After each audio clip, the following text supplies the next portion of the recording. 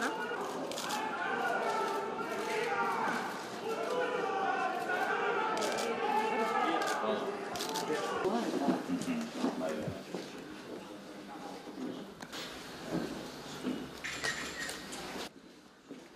podemos hablar?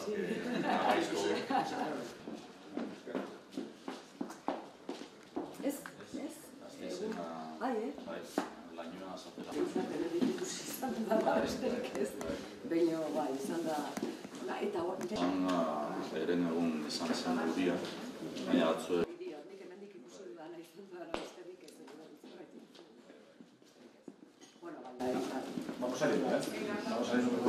¿Eh? Hemos vivido unos años en los que el proceso eh, iniciado desde el Legislativo Central, desde el Congreso y a instancias además de una mayoría eh, que apoya al Gobierno Central, bueno, pues, pues ha sido un proceso de recentralización en muchos ámbitos y aspectos.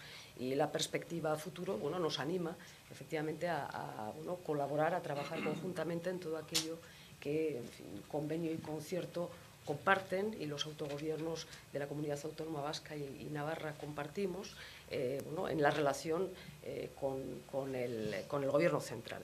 Eh, serán equipos de trabajo que yo entiendo tienen su primera representación en los consejeros de Hacienda y, Economía y por lo tanto ese el germen o el núcleo de esos equipos de trabajo que como decimos echarán a andar o comenzarán a andar próximamente.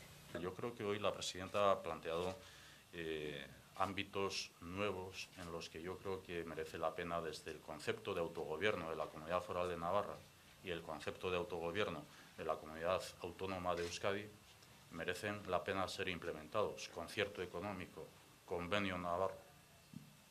¿Cómo hacemos eh, una lectura de las capacidades y de las potencialidades que tanto el concierto económico como el convenio económico tienen?